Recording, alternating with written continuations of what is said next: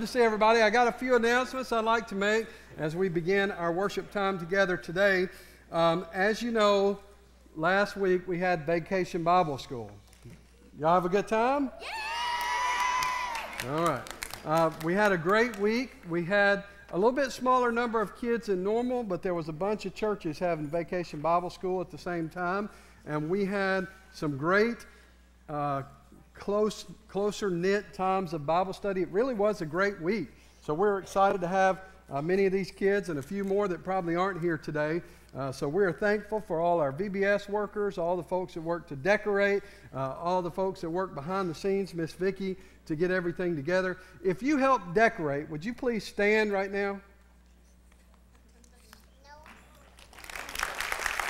All right.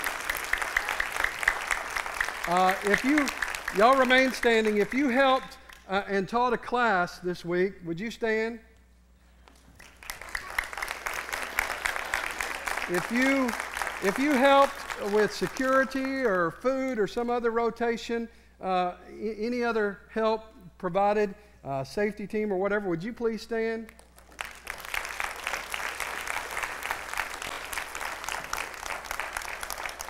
And if you prayed for VBS, would you please stand? Uh, and if you sent your kids to VBS, would you please stand? Uh, all right, you can be seated. Um, the point I'm trying to make there is that while there were a lot of people that worked really hard to make this happen, there were a lot of people behind the scenes praying. And this is our church event. And so we thank all of you that helped with that. A few other announcements, uh, some things you need to be in prayer for. Uh, the youth are leaving tomorrow to go to youth camp. Uh, pray that God will bless them as they go, that God will open their hearts to see what He's trying to teach them. Also, pray that God would keep them safe as they travel. And we're going to pray for them uh, later on in the service today. Also, the, the uh, mission trip the next week, begin praying for that. Um, and we'll be praying for them the next week uh, in the service. And then uh, I'll be going to the Southern Baptist Convention. So pray for the Southern Baptist Convention, which is in Birmingham this week. I'll be leaving this afternoon, and I'll be back Wednesday evening, uh, probably right about the time prayer meeting is getting over. And so I'm thankful to have Brother Dennis Fowler to lead Wednesday night. But you be in prayer for the Southern Baptist Convention this week, and pray for me and Zoe as we travel. Where's Zoe? Oh, she's hiding over there. Oh, she goes, okay. Um, we need help putting up the singing flag. There's a sign up sheet. If you can be here on Saturday, June 22nd at 8 a.m., before it gets too hot, uh, we need some, some folks that can lift some objects and climb uh, and don't mind sweating a little. And we'll be sure to have you plenty to drink here when you come uh, you know, Gatorade or something like that, so that, so that we'll be able to put that up. Uh, it, it'll take about how long to put up? Five hours. If we got more people, it may go a little quicker. I'm just saying. Uh, so, uh, but anyway, we need to put up that singing flag on the 22nd. Please sign up to help. We need all the people that we can get to help. Also, Kids Camp is coming up. If you'd like for your kid to go to Rock Ridge, uh, on July 8th through 11th. You need to see Miss Vicki. Miss Vicki, stand up and wave at everybody. You need to see Miss Vicki, and she can get you signed up. Go back to the children's desk, and they can get that worked out. All right? Um, and then don't forget the singing flag. The singing flag is on the 30th. Uh, we'll have the choir sing. John Glosson will be here to sing a few songs. If you don't know who he is, uh, then you probably uh, hadn't watched the show Duets. He was on there with Jennifer Nettles. He was on American Idol. Uh, so he's a you know very nice singer. Look him up on YouTube. He's going to be here singing about five or six songs, something like that. 35 minutes he's going to be singing for us. And then at the end of that, we're going to have 20 minutes of fireworks, a professional fireworks show. So we're excited about that. Uh, we're excited about that singing flag. We'll be having hot dogs and hamburgers. Invite your friends and neighbors. And anybody that wants to come can come and just celebrate God and, and that we live in a great country where we can worship Him uh, and honor Him. All right? Now we're ready for some fun. Isn't that right, kids? Yeah! Okay. I think that we start with our motto. Y'all stand up. All right. Does someone remember? Does everybody remember our motto? Yes. Okay. Here we go. We're going to say it together. Ready? Zoom in, focus on Jesus. Okay, the motto is zoom in, focus on Jesus. Will y'all say that with us? Ready? Zoom in, focus on Jesus. This week we had an opportunity to talk about different encounters that people have with Jesus. Uh, they, uh, Jesus' encounter at the temple when he was 12, uh, his encounter with, uh, with John the Baptist when he was baptized, uh, his encounter uh, when they walked on the water and came out, and then Peter walked on the water, and Peter's encounter with him, and the disciples' encounter with him. and we talked about Mary and the encounter at the tomb. And then the last day we talked about the encounter that the guys had on the road to Emmaus uh, as they walked with him. And so we've been talking about encounters of Jesus. So it makes sense that our motto would be Zoom in, focus on Jesus. Okay, at this time we're going to do our pledges. Uh, so have our pledge bearers stand up, please. And everybody stand up. You got to do it with us. You're at ease? Attention, salute, pledge.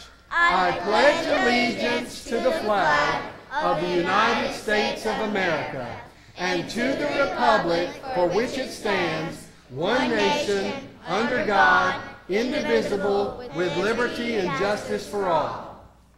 Now we're going to do our pledge to the Christian flag. Attention, salute, pledge. I pledge allegiance to the Christian flag and to the Savior for whose kingdom it stands one brotherhood uniting all Christians in service and love. Now we're going to do our pledge to the Bible. Attention, salute, pledge. I pledge allegiance to the Bible, God's holy word, and will make it a lamp unto my feet, a light unto my path, and hide its words in my heart, that I may not sin against God. Good job. All right. All right. You may be seated.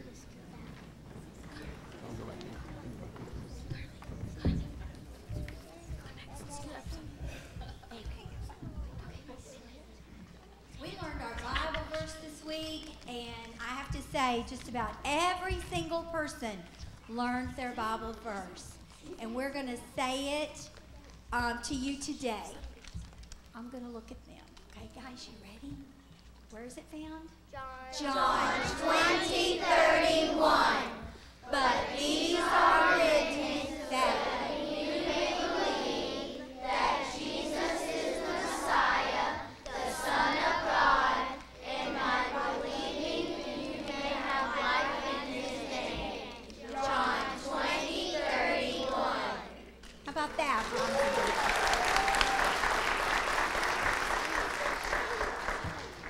Right, boys, going to stand up. We learned several songs this week that uh, have some motions and all, and we're going to share them with you, and uh, we'll call ushers down a little bit. So here we go, in the wild, guys.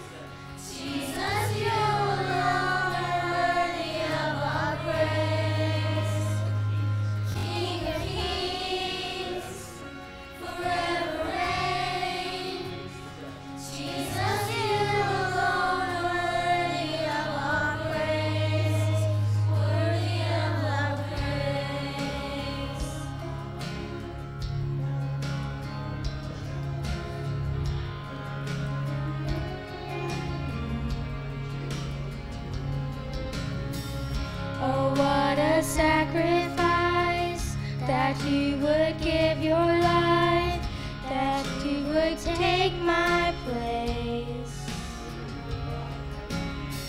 Your love, it has no end. How strong it must have been to roll that stone.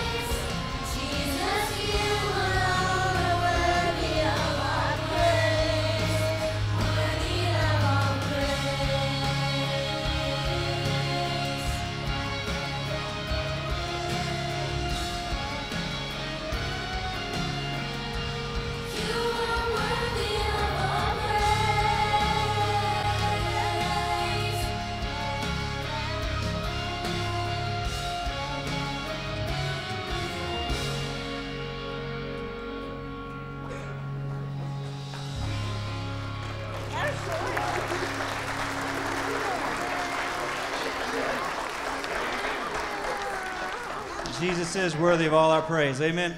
Uh, you get to take these back. We don't get to keep them. So our ushers are going to come forward. We're going to have offertory prayer. During the offertory, the boys and girls will come down. So if you got to take them back, sorry. uh, but during the offering, uh, you will see a video, just kind of a brief week in review. And uh, so we appreciate you all allowing us to just have your kids because they are a true blessing. So we're going to have a word of prayer and then we'll uh, proceed.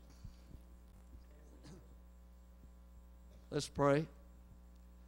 Heavenly Father, what a joy it's been to be in your house this morning, Lord. Uh, you tell us in the Bible, suffer the little children to come unto you early.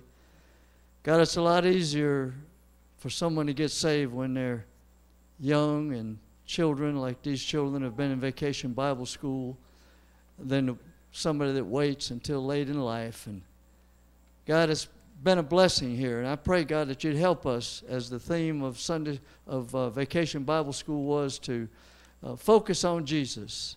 Help us, Lord, to give you first place in our lives. There's so many things going on in the world that can take our attention away from you, but help us to focus on you, to give you first place in our lives, God, and not in things and not in uh, sports activities and, uh, you know, going to the lake. I mean, those things are good, they're fun, but help us, Lord. We know that uh, we owe everything to you. The Bible says, in the beginning, was the Word, and the Word was with God, and the Word was God.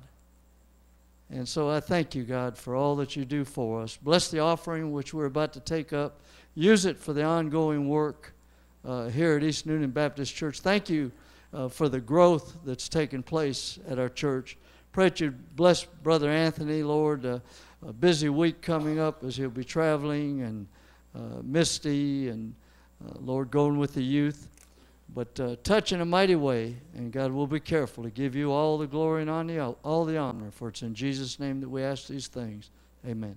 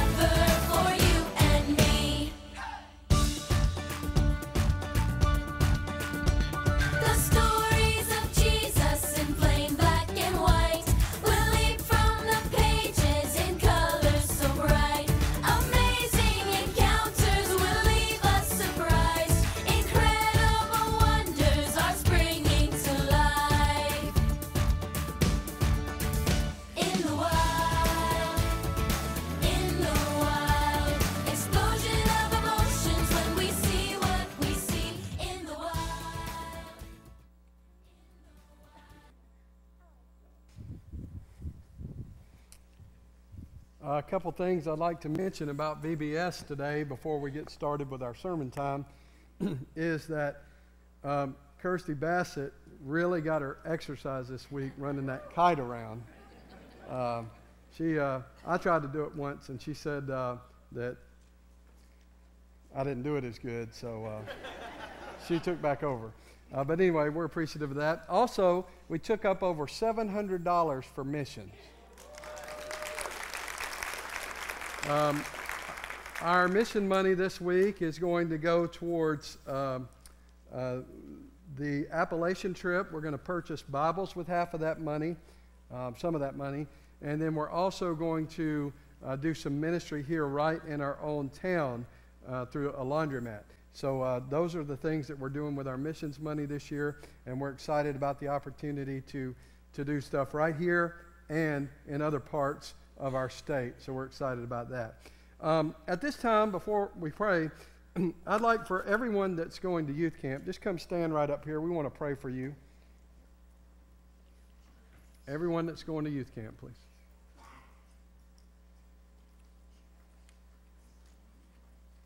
And there's, is there a few more than Yeah, they're this? not here today. They're not here today. Uh, so pray for those that aren't able to be here today that are going to youth camp. Pray that God will keep them safe and will use it for His glory and His honor. Let's pray. Father God, we thank you so much for these that will be going to youth camp this week. We pray, God, that you will just open up their hearts and their minds to hear a word from you. And Father, we pray, God, that right now you'll begin to make all these young people and even the adults sensitive to your spirit this week, uh, to what you'll be speaking to them, to how you'll be interacting with them, and how you'll be calling them uh, to repent of maybe some thoughts or behaviors that are not uh, in line with what you would have for them. We pray, God, that you will just draw them closer to you, draw them closer to one another, and help this to be a great, productive opportunity. Uh, pray for their safe travel. Watch over them as they come to, uh, go to, and come back uh, to be with us. And we pray, God, to hear great reports about what's going on in their lives. In Jesus' name we pray. Amen. Thank you. Church, will you commit to be praying for them this week as, they, as they're gone? Okay, three of you. Good. There you go. I'm just teasing you. Pray for them. It's important. All right. Turn with me in your Bibles to 1 John chapter 5. 1 John chapter 5.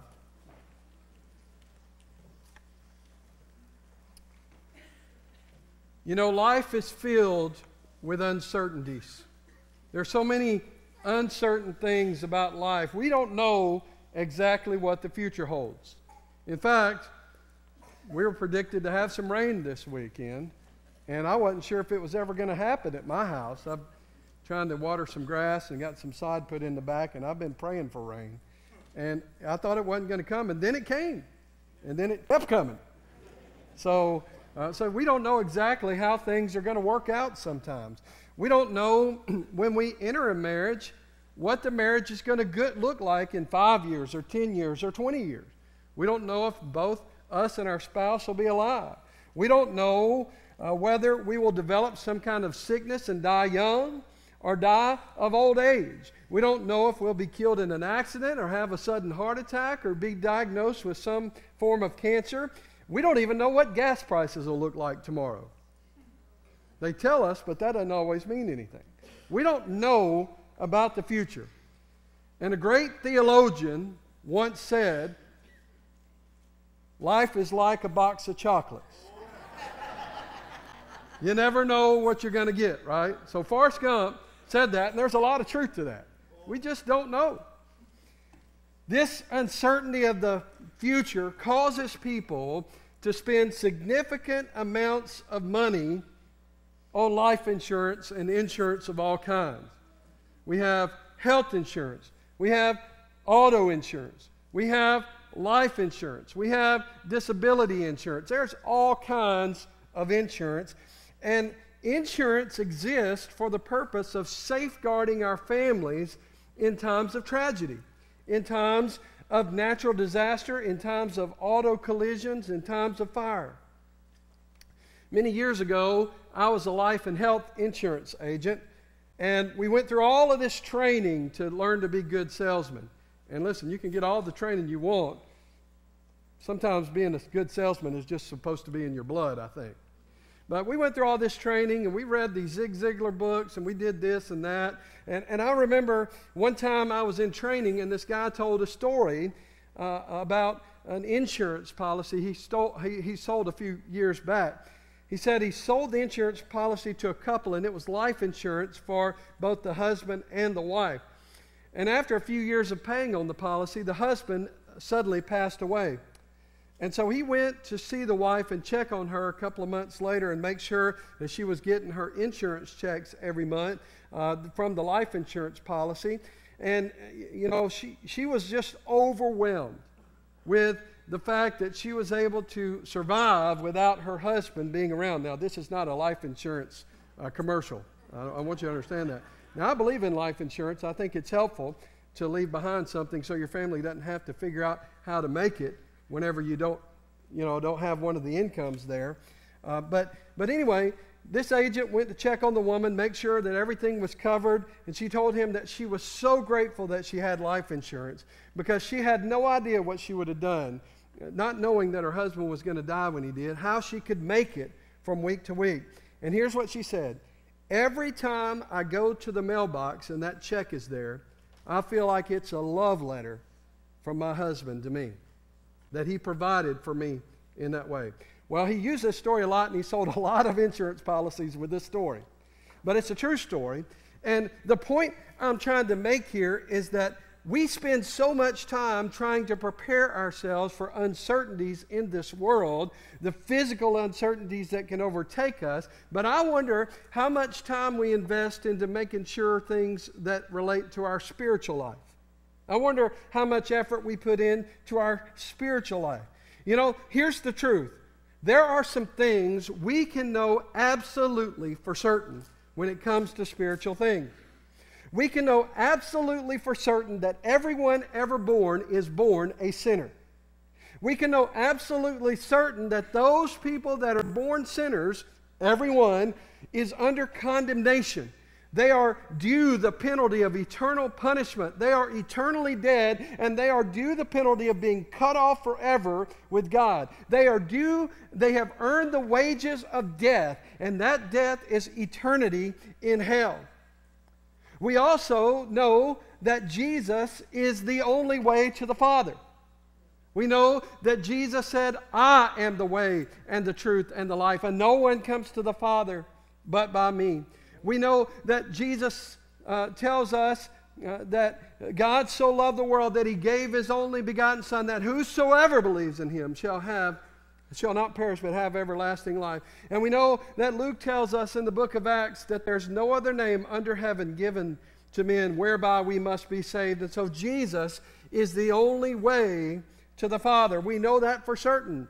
Now, some would say there are many ways to get to heaven. Some would say that God is on a mountain and we must find our path to the top of the mountain. But Jesus stands at the top of the mountain and he says that I am the only way.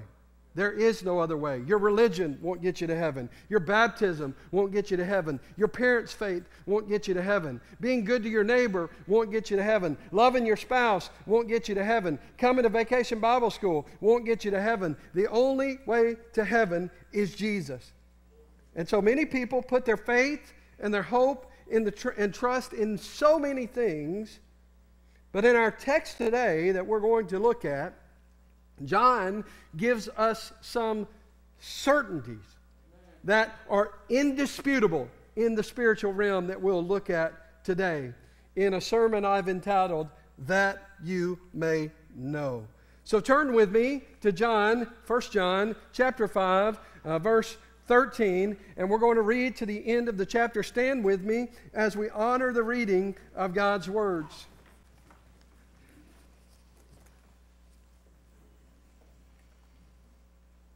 He says this I write these things to you who believe in the name of the Son of God, that you may know that you have eternal life. And this is the confidence that we have toward Him, that if we ask anything according to His will, He hears us. And if we know that He hears us in whatever we ask, we know that we have the request that we have asked of Him. If anyone sees his brother committing a sin not leading to death, he shall ask, and God will give him life. To those who commit sins that do not lead to death, there is a sin that leads to death. I do not say that one should pray for that. All wrongdoing is sin, but there is sin that does not lead to death. We know that everyone who has been born of God does not keep on sinning. But he who was born of God protects him, and the evil one does not touch him. We know that we are from God, and the whole world lies in the power of the evil one. And we know that the Son of God has come and has given understanding, so that we may know him who is true, and we are in him who is true, in his Son, Jesus Christ. He is the true God and eternal life. Little children, keep yourselves from idols. Father God, we praise the study of your word. We pray, God, that you will open our minds to the understanding that you have given us. Father, if there's someone here today that has never surrendered their lives to Christ, never surrendered their wills to Christ, never repented and turned away from their sins and turned to Christ, I pray, God, that you will help them to trust you for the first time today. And Father, we pray, God, that as we look at these truths, these certainties about the spiritual life, that you will use this time to help us to evaluate our own spiritual condition before you.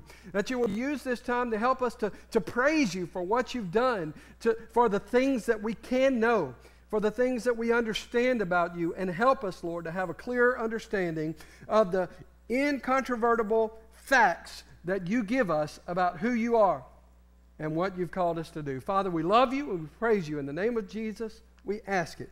Amen.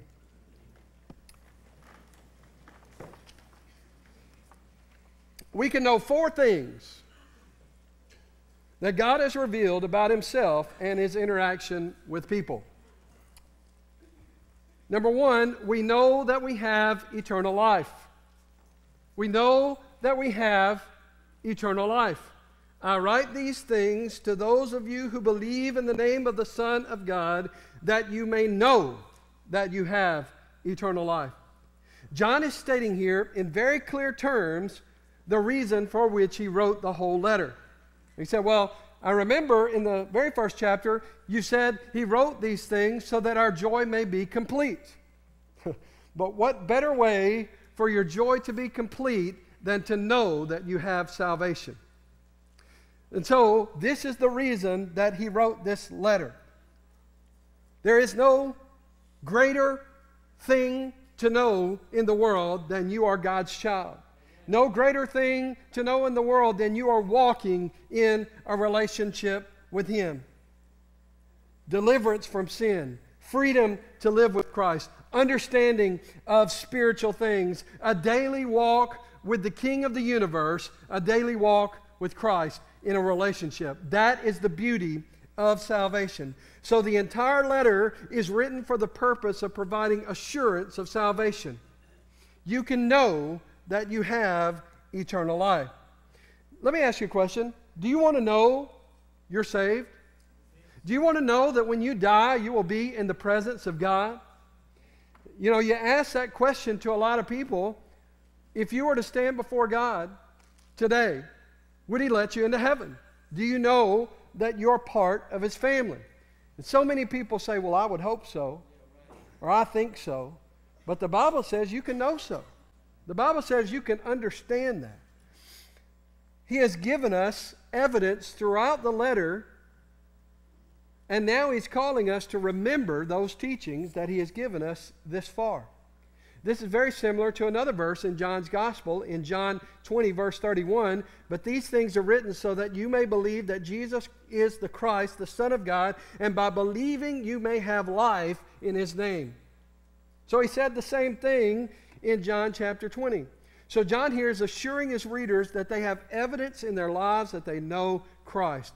What are those proofs? Well, we've mentioned them all throughout this study love love for our brothers and sisters in Christ, love for our neighbors, love for the world. We must love others, regardless of their situation, regardless of their, whether they're our enemies. We are called to love, loving one another. Number two, he said obedience to the commands.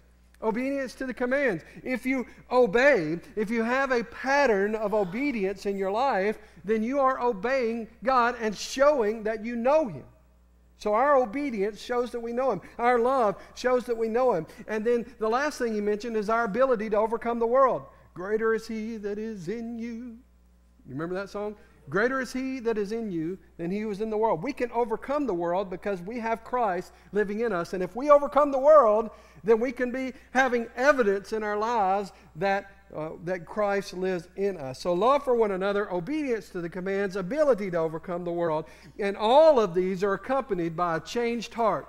Do you know that when you are saved, God changes you from the inside out. He makes you a new creature, and you no longer desire the things of the world in the way that you once did. And now you desire the things of heaven, the things of God, the things that He is calling you to live. And He changes you on the inside, and you begin to move towards those things that He's calling you to live for. We can know that we have eternal life Number two, we can know that God answers our prayers. Do you know that God answers? Do you know that God answers our prayers? Come on now. Do you know that? Amen. Has God answered your prayers? Amen. Now, sometimes He may not answer them exactly the way that you want them to be answered. Lord, I prayed for a BMW, but you gave me a Yugo. Some of you don't know what a Yugo is. You don't know what a Yugo is, do you? How many, how many have never heard of a Yugo? I know kids, you don't know because that's what we used to know. You know what a four door Yugo is? It's a WeGo. I don't, that just came to me. Did you, did you, you know that one? Okay. Yeah, I, I don't know. I'm sorry. I digress. God answers our prayers. I want you to know that. Even though we await the future glory of eternal life, believers still have access to the, to the, to the, to the power of God. Did you know that?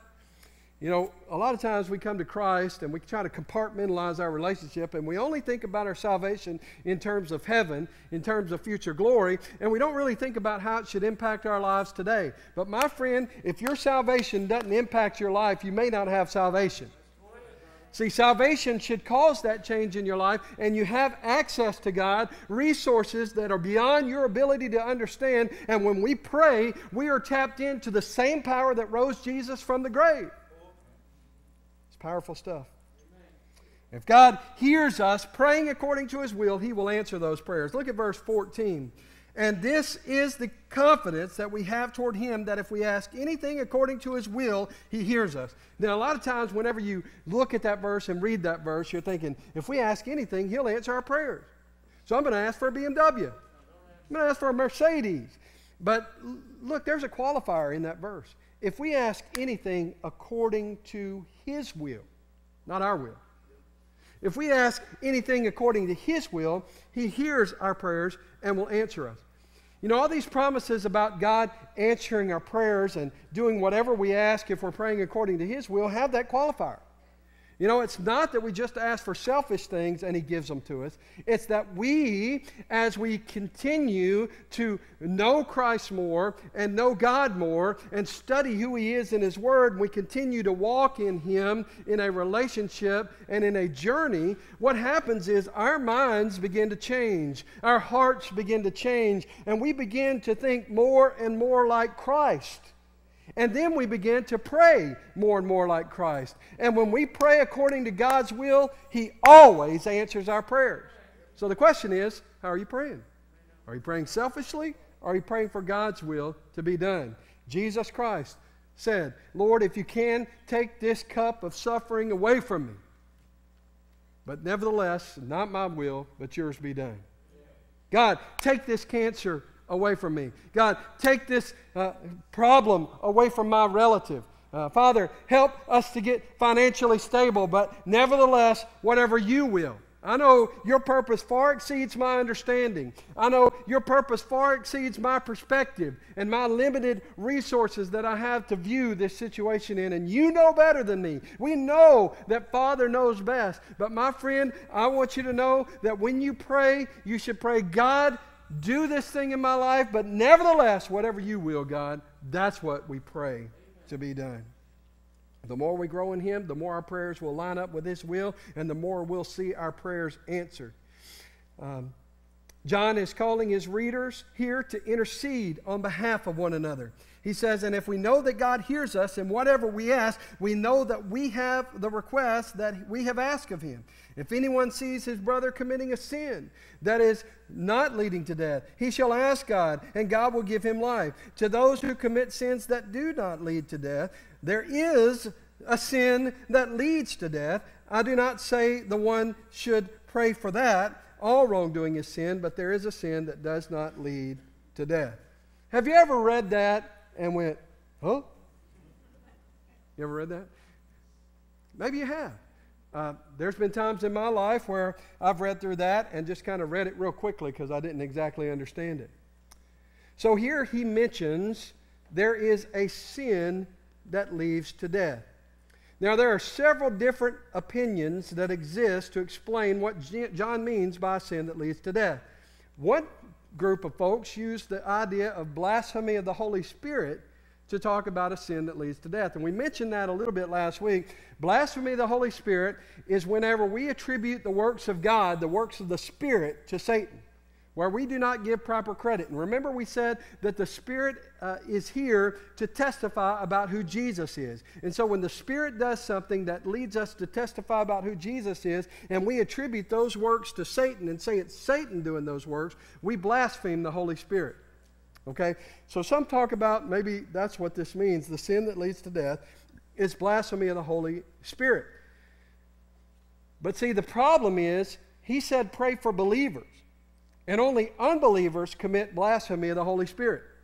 Believers don't do it because the Bible says you don't lose your salvation. And a believer whose heart has truly been changed will never want to commit blasphemy of the Holy Spirit. So it couldn't possibly be blasphemy of the Holy Spirit. Some say this is some form of falling away that results in a true believer losing their salvation. But we know that once Christ has secured our salvation, He said it's paid in full and that transaction's made, and it's God is the one that keeps us saved, not us. If we could save ourselves, then we could lose our salvation. But since we can't save ourselves, Jesus saves us, and His work is complete. And if you say that you can lose your salvation, you're missing the point of what Jesus did. He died in your place, it's done. So if you accept Him by faith and truly come to Him, you do not lose your salvation. Some would say this is some kind of heinous sin like child molestation or murder or something like that. Um, but we know that murderers can be saved and go to heaven, right? Think Paul. He stood by and watched them be stoned, was persecuting them. He's in heaven now. We know that for sure. So, what is a sin that leads to death? Well, here it is. It's a believer that commits this sin, so it's most likely a sin that actually causes you to physically die. See, there's a spiritual death and there's a physical death. And do you know that people can commit sins that can cause them to die physically? Did you know that? Think Ananias and Sapphira. They lied to the Holy Spirit. They died right there in front of the church. And listen, they buried them right then. You remember that story from the book of Acts? So there are sins that do, in fact, lead to death. So the death here mentioned is most likely a physical death. And listen, we can get into all kinds of sin as believers that can have the consequences of us dying. And that will lead us to die. And even there were some who Paul said in the book of 1 Corinthians that were partaking of the Lord's Supper in an unworthy manner that were either sick or had gone to sleep or died. So there are sins in the life of a believer that can lead to death. And we are supposed to pray for people that are caught in sin here, according to this verse, so that they don't die. Listen, why do I not want you to sin? I don't want you to sin not because I'm a mean spirited legal pastor that doesn't want you to have any fun. I don't want you to sin because it destroys your life. I don't want you to sin because it destroys your family. It destroys your relationship with your children. It destroys everything around you, and you don't need to be caught up in sin. We, we say that homosexuality is a sin because God has called it a sin. It's a perversion, and we don't want people in that life, not because we hate them, not because we want to, to uh, be legalistic jerks that want to tell them how to live. We look at them and we love them, and we know that's not what's best for them. Are y'all, are y'all okay with that? Because as long as I'm your preacher, that's how it's going to come down.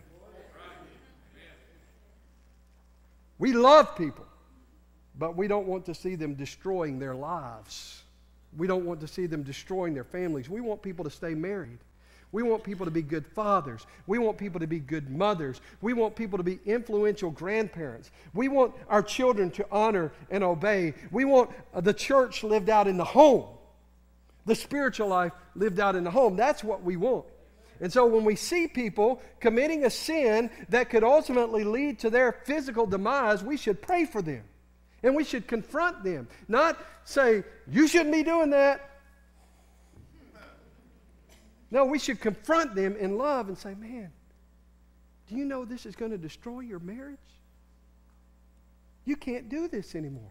Can I pray for you? Can we meet once a week and just let me pray with you and hold you accountable for this situation? You can't do this anymore. That's what church discipline is all about. And we're called to pray for those people. So now that we covered all that, we know that God answers prayers. Number three, we know that God, we know that we can overcome sin. We know that we can overcome sin. Look here in verse 18. We know that everyone who has been born of God does not keep on sinning, but he who has been born of God protects him, and the evil one does not touch him. John is wrapping up the letter here to reiterate an important point he's made throughout the letter. No one who has been transformed into new birth continues in a pattern of disobedience and sin before God. Listen, if you've been saved, your sin bothers you. If you've been saved, you have guilt about the things you know that you're doing that do not honor God. Maybe it's your thought life. Maybe it's your heart. Maybe it's some actual acts that you do that are sins against God. Lost people sin out of their nature. Did you know this? It's, it's a fundamental truth that we in the church need to understand. Lost people act like lost people because they're lost. We try to hold them to our standard. We try to hold them to the standard of living like Christ, but they can't live like Christ until they have Christ. And so we ought to look at lost people not in judgmental, critical nature, we, don't, we don't look at drunks and drug addicts and, and people that are living according to the world. We don't look at them in judgmental and critical spirits. That's what that passage, judge not lest you be judged, is all about. It's talking about believers judging the lost. God is doing that, He's condemned them already. Our job is to love them in such a way that we share Christ with them and love them into heaven. That's what we're called to do. And so we don't judge people. We understand that lost people are acting like lost people. And I don't think it's such of a stretch to say that saved people are to act like saved people. Now, that didn't get an amen. But that should have got a bigger amen. You know, saved people are to look like saved people. They are to act like saved people. They are to think like saved people. They are to talk like saved people. They are to have hearts for the lost like saved people. Jesus is our Savior but this verse also says that He's our protector and our sustainer. He does not allow the evil one to influence us in such a way as to cause us to fall away. So we need to understand that Jesus is out there protecting us. We need to do our part to follow Him and live like Him. And, and, we understand that the Holy Spirit is working in us to make us like Christ. But while it's true that we must cooperate with the Spirit, we must be obedient with Him, we must be walking with the Spirit, the Bible teaches that there is a sense in which sanctification is a supernatural work of God in the heart, just like our salvation was. Justification, justification brings us to God. Sanctification helps us to grow in Him and our physical lives to match up with our position in the Lord. And so these things are working in concert to make us who God is calling us to be. And from beginning to end, salvation is about what God has done in you and is doing in you and will do to you when you get to heaven one day and you're completely glorified and free from sin. Glory to God. God does the work in us and we just simply cooperate with what He's doing. You know what that means? That means you can conquer any sin that comes at you. You hear what I'm saying? It means you can conquer any sin that comes at you because you have the same power, access to the same power, the same power living in you that rose Jesus from the dead. The power that created this earth, the God of the universe. You have access to Him. And listen, friend, you can overcome that temptation. Not by yourself, but you can overcome. And so, yes, we must obey. No, we're not just along for the ride. We are working with God, but God is in the driver's seat. You know those, those bumper stickers that says, God is my co pilot? I just want to go up there and mark them out.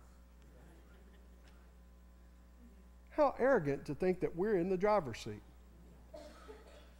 We're the co pilot, and He only lets us drive when we get it figured out. And even then, He's got His foot on, uh, His hands on the wheel. In the, in, when you're training it, and there two, two Mel, in, in there too? Yeah, yeah. So yeah, he's he's got his hands on the wheel the whole time. I'm not a perfect expert on how to pilot a plane. I would never ever suggest you ride with me. Uh, number four, we know that Christ is the only true God. So there's some things we know, but we know that Christ is the only true God. Look at verse 20. And we know that the Son of God has come and has given us understanding so that we may know him who is true, and we are in him who is true in his Son, Jesus Christ. He is the true and eternal God. Wow, how many times can you say true in a sentence, right? There's only one God, and there's only one Son of God, the true Son, Jesus Christ. And so we've come full circle to the end of this epistle. I write these things that you may know and he says, What do you, does he want you to know? In the beginning, we have seen him, we have touched him, we have heard him. We have intently gazed at him. We know this is the one true Son of God, and we proclaim this to you. And then he comes full circle and says, Jesus is the true word of life. Jesus is the only true God. The most important decision children, adults, the most important decision you will ever make in your life has to do with Jesus Christ. Not who you will marry, not what career you will have, not what you do on this day or that day, not which college you go to. None of that matters compared to who Jesus is. That's the most important question you'll ever ask in your, uh, in your life. And the only way to know that you know the true and living God is through the work of Jesus Christ on the cross and through the power of his resurrection. He is the only way. All those who know him, all those who have been saved, they know his, uh, his person. They know Him. They've trusted in Him for eternal life. And listen, it's not just about the eternal life. Eternal life is a benefit, but it's about walking with God, it's about a relationship with Him.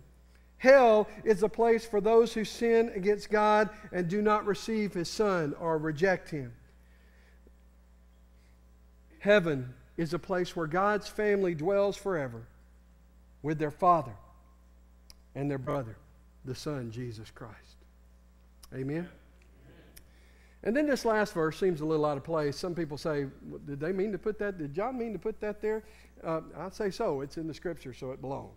All right? He says, little children, keep yourselves from idols. How does this work into this? Well, if God is the one true God, then why do we need to worship anything else as an idol?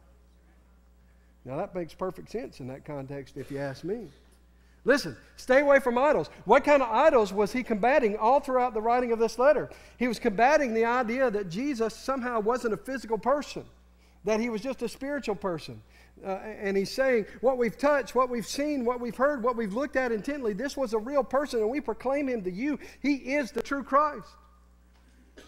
So he's saying to them, whatever idols you have, maybe it's your enlightenment, maybe it's your understanding of the world around you, maybe it's your materialistic things in your life, maybe it's the things you cling to in this life, maybe it's even your spouse as your idol. Maybe you put your spouse above God or your children. We do that in our day. We, we worship at the feet of our children rather than God. Listen, you can worship God first and love your wife better. You can worship God first and love your children better. We must not have idols in this world. You know what idols do? They keep our mind on them and away from God.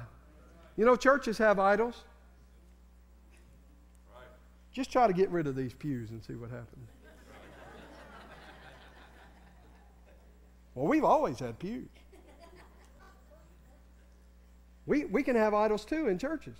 Listen, we're not here to worship the pews, we're here to worship Jesus, right? It's all about Him. It's all about what He's doing in our lives. And, and we need to love those He's working in their lives. Listen, and I recognize that pews are not the most comfortable place to sit for, you know, what, what are we staying here? About 45 minutes? I know it's not. Or it's an hour and 15 minutes, something like that. Um, but we're here to worship Jesus.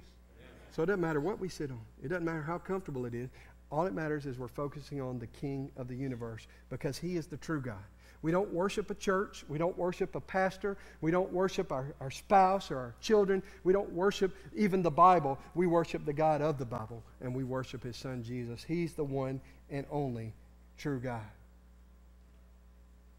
I read an article one time about a marketing plan in 1994 by Northwest Airlines. I don't know if you remember that, but they had uh, uh, tickets. You could buy a mystery ticket on an airline for $59 to some place. The thing is, you didn't know where you were going until you arrived to pick up your ticket. So they were selling a mystery ticket for $59. This seemed like a great deal because you could get on a plane and fly for $59 a person and you could go someplace and have a vacation. The only thing is you didn't know where you wanted, where you were going to be going. Some folks were very disappointed with their destination, others were not. One man was hoping to travel to New Orleans. I guess he wanted to go down to the French Quarter and Bourbon Street and all that and check all that out. Maybe St. Louis Cathedral if he was particularly holy. I don't know. But he was wanting to go to New Orleans, and instead he got a ticket to Minnesota.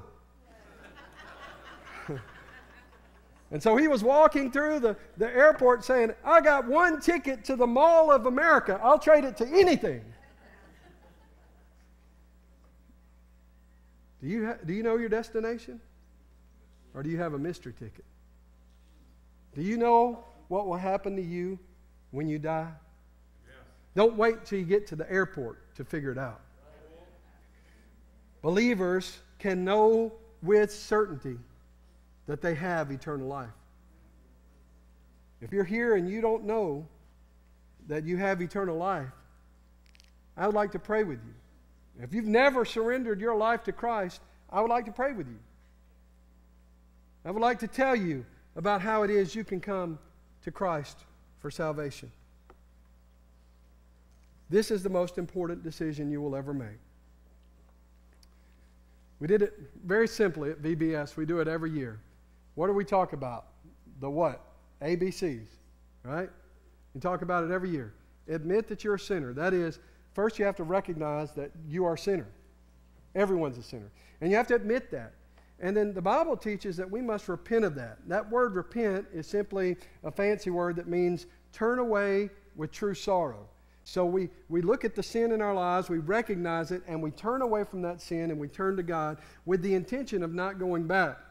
Now, that doesn't mean that sometimes we don't go back. Trust me. We all sin from time to time. But the intention of our heart is we'll never go back to that. So we're truly sorry. And we turn to Christ. We admit that we're a sinner before God. Secondly, we believe.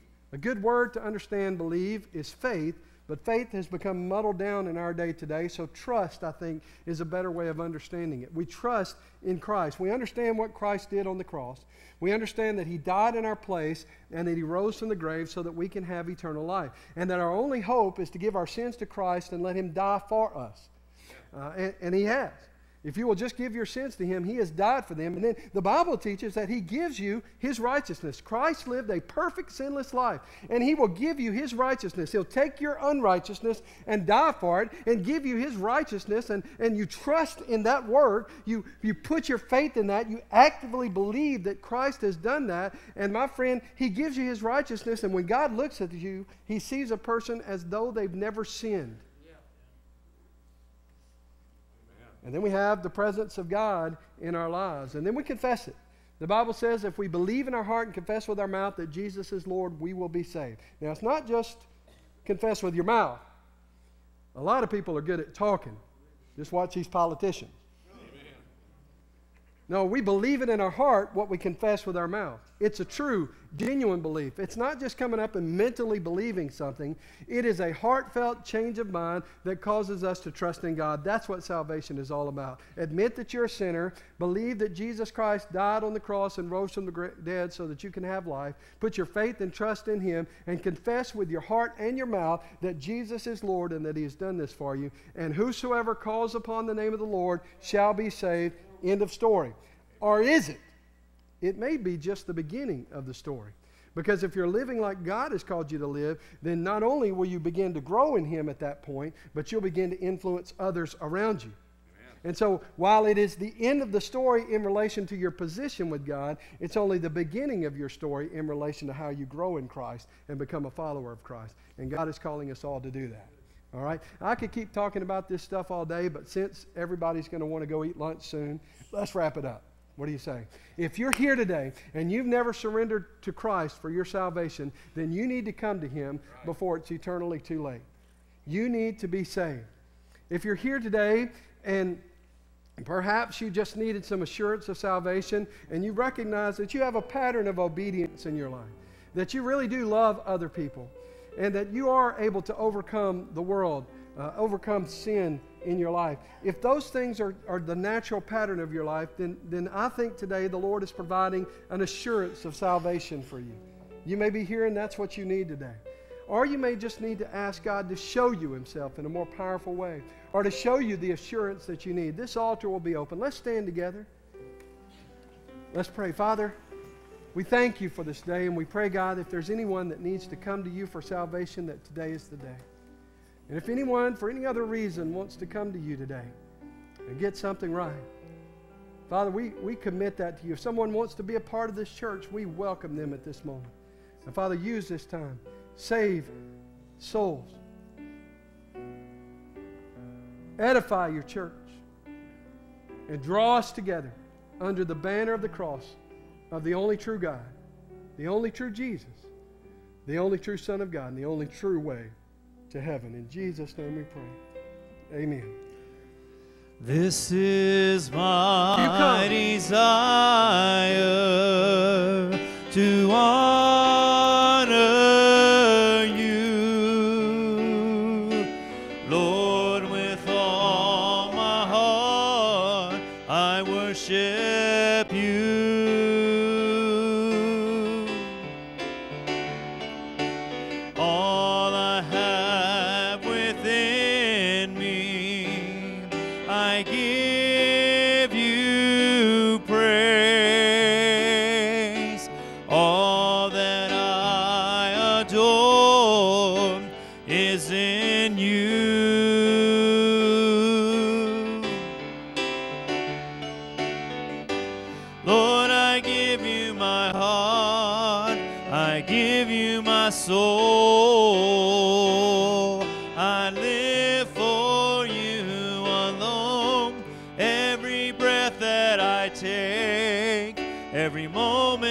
time away.